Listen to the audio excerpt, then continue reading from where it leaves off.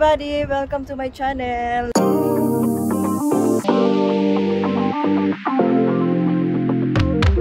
Nandito kami sa recycling center today. Magdadam kami ng uh, to mga cut na bushes, yung mga dry leaves. Ayan. Ayan yung asawa ko. Ayan sila, gagawin nila yan ng ano, fertilizer and mulch. Yan, malaki to guys.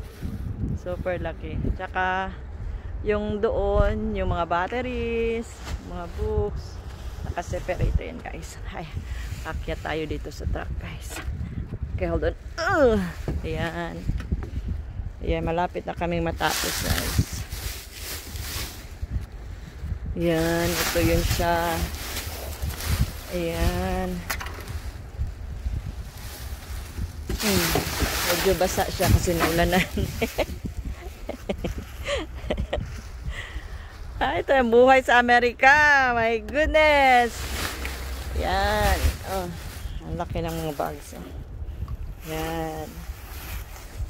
O, oh, diba? It's amazing. Oh. Ang laki. Tsaka ang ganda ng weather ngayon. Oh, perfect. Tsaka mamaya, punta ako ng grocery maghanap tayo ng pang ano, na natin. Wala pa kami ano kahit isa man lang. Ay nako. Ayan, busy-busy ang pig. Ayun, maraming nagda-dump din doon. Oh, nakita nyo guys. Ayan. Ayan siya. Ang ano dito, may bayad dito eh. Um, $10 isang ano, load na truck. Yeah. Pero marami ding Pinay na hindi pa alam dito. Dito lang to malapit sa ano. Sa, sa racetrack to yun. Next na IHOP. Yeah, malapit lang dito. Yan, kinakat na niya yung ano.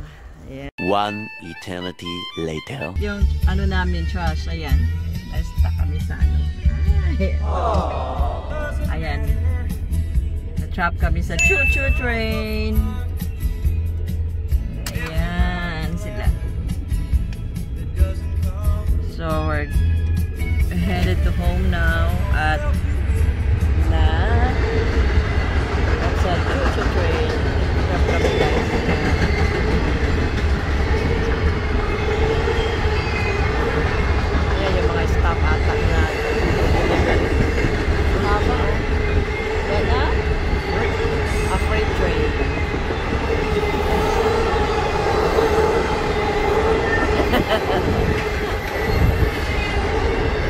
Deliver the Christmas goodies and the New Year goodies, guys. Ay, nako, buhay dito sa tate. Ah, Lord of mercy. Merry Christmas, everybody! Bukas na yung ano nyo, Christmas sa Pinas. And this my family.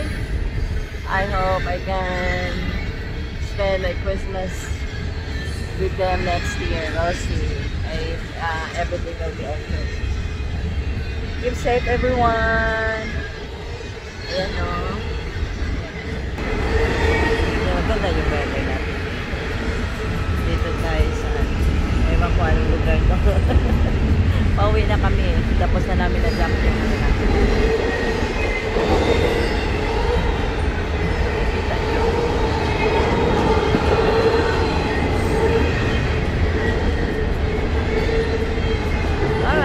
bye